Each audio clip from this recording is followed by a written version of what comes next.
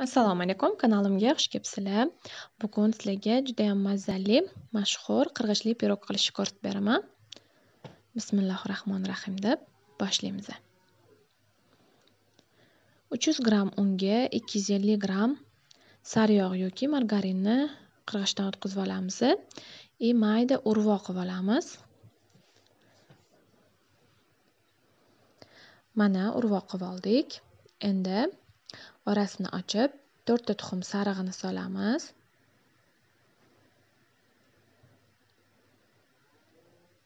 Yaxshilab qo'limiz bilan aralashtirib xamir qilamiz.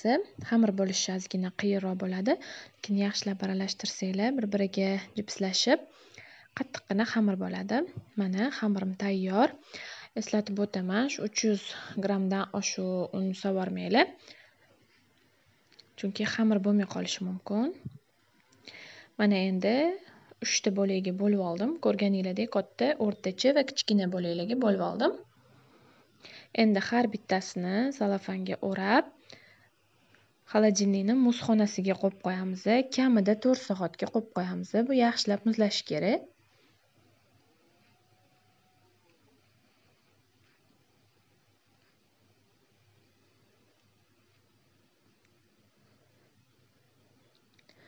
Bu orada e, yong'oq kerak bo'ladi bizga. Xohlagan kattaligida maydalab olsanglar bo'ladi. Endi to'rtta tuxumni oqini ko'pirtirishni boshlaymiz.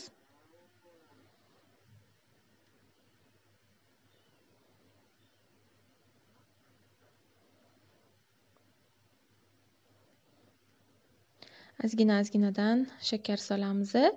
Qattiq ko'pik bo'lguncha ko'pirtirishni boshlaymiz.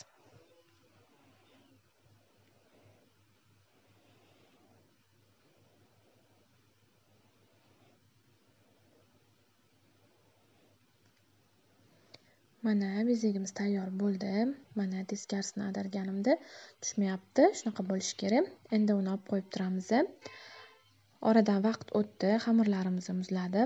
Endi qolipga bularni qirg'ichdan o'tkazib olamiz. Qolipimni diametri yigirma to'rt santimetrli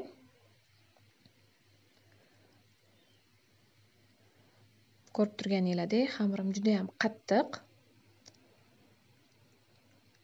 Eng katta bo'lagini tagiga qirg'ishlab oldim. Endi qo'limiz bilan emas ko'rib turganinglardek vilka yordamida tekislab chiqamiz hamma yog'ini bir xil qilib. И boya ko'pirtirib olgan bezagimizni yarmini teng yarmini solamiz.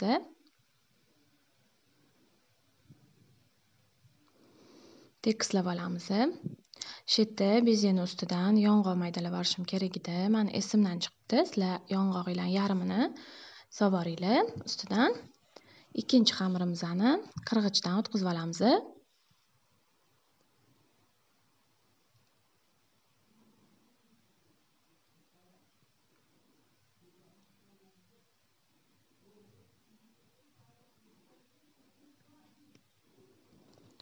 Mana ikkinchi xamirni ham qirg'ichdan o'tkazib oldik. Yana vilka yordamida tekislab chiqamiz chetlariga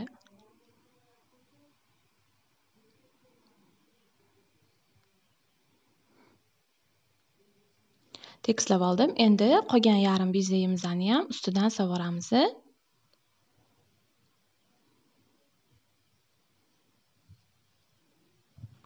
Bezakni ham tekislab buni ham ustidan qolgan yong'og'imizni sepishimiz kerak. И oxirgi eng kichkina xamirimizni mana shu xamirni qirg'ich qilayotganimda yong'oq esimga tushdi. Shuning uchun shu paytda sepib yubordim yong'oqni hammasini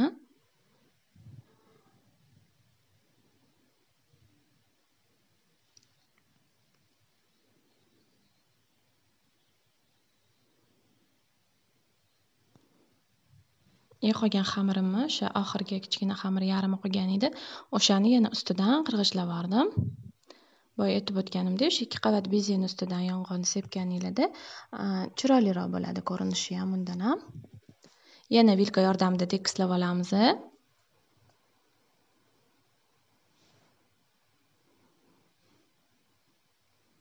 ana endi pishirishga qo'yamiz. Gaz duxovkasiga ikki yuz gradusga yigirma besh yarim soatga qo'yamiz. Mana pishib chiqdi. Issiqligida demay turamiz qolipdan olmay turamiz o'n o'n besh minut kutamiz sovishini. Mana o'n o'n besh minut sal iliqroq holatga keldi. Endi ustidan сгущенный молокoni quyib chiqamiz. Meshokila bo'lmasa qoshiqdayam quyuversanglar bo'ladi. Baribir issiq bo'lganiga o'zi issig'ida erib ketadi молоко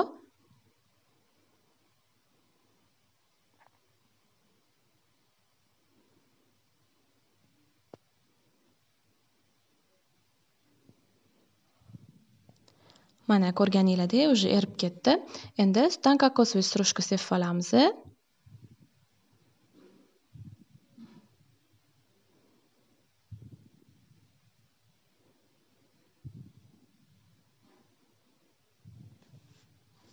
Mana pirogimiz tayyor bo'ldi.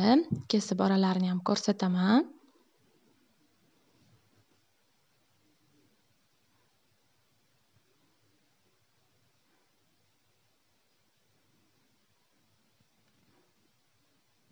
Judayam og'izda eriydigan mazali pirog bo'ladi.